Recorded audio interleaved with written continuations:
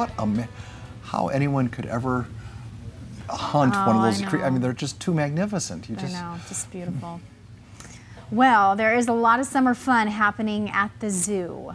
Allie Wagner is there live checking out all the fun the zoo has to offer, including mm -hmm. some memorable sights that you will never ever forget, right, Allie? Yeah, I don't think you're going to forget this guy anytime soon. Hi, bud. Uh, I know these are not food, but we have some tickets. So if you want a family four pack of tickets, you can go to the KUSI News Instagram, like the photo of me with them on there, and you will be entered to win. So that's something fun you can do. So you can come and hang out with these guys. And I have Lisa who's with us here this morning. So tell me a little bit about this rhino here. Well, this rhino is Maza. He's our greater one horned rhino. You find those in Southeast Asia, and he is about hmm, 4,000 pounds. Oh, yeah, yeah, light guy. Yeah, he's got a little bit growing to do. You know, they're not sexually mature till they're about six, eight years old. Couple thousand more pounds to go. No way, really? Yes, indeed. 6,000 pounds is not um, unusual for a greater one horn rhino. Wow, and he is so cool. So we're actually um, kind of behind the scenes, but this is actually an area that you can come to. Absolutely. Your ticket, you can also purchase an opportunity to take part of the Animals in Action program, mm -hmm. which uh, Maza here participates in as well. And he does a great job of representing his uh, uh, other counterparts of rhinoceros yeah. and making sure that everybody is aware that these guys are endangered and that we need everyone's help to be allies for conservation with us. Yeah, we've definitely gone and seen Edward and Future, of course, up there at the safari park, you know, all part of the San Diego Zoo Wildlife Alliance and the work that you guys are doing. Absolutely. It's also very important. I mean, as soon as we can, uh, our, our goal is obviously to try to bring the northern white rhino back into, onto this planet Earth, and and we are making great strides up at the safari park. And Maza here is a great reminder for folks that come to the zoo. So if you're here for summer nights or a nighttime zoo, you can see Maza if you get a ticket to Animals in Action. Yeah, and of course, he is the one that you see around the giraffes over here, so you can always come and see him. But like you said, nighttime zoo is going on, just part of the summer fun. So what can people expect when they get to come hang out here at the zoo until 9 p.m.?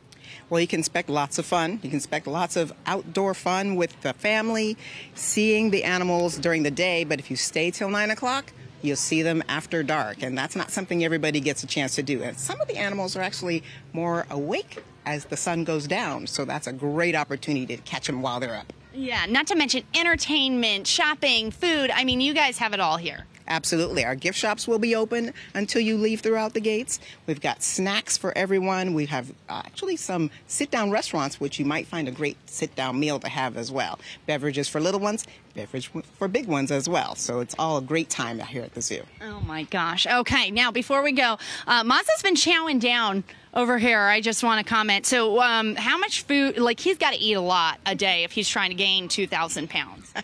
and he tries his best. We feed him a diet of two different kinds of grasses. He also gets a pelleted diet. And the snacks that he's getting right now are treats, but they do contribute. So, he, he does do uh, some pretty good damage. oh my gosh. Absolutely beautiful, you guys. So neat to hang out with Maza today. I mean, it's a rough life. Uh, I'll be here two two inches from the from the rhino. Back over to you guys. Yeah, I notice Very you're not putting cool. your hand in that mouth. Uh, Allie, can you ask Lisa I, about? You know what? But his teeth are, you know. That's what I. That's what I was going to yes. ask. If you could ask Lisa about the teeth, because you can see there's like two incisors on the bottom, but it doesn't look like he has much.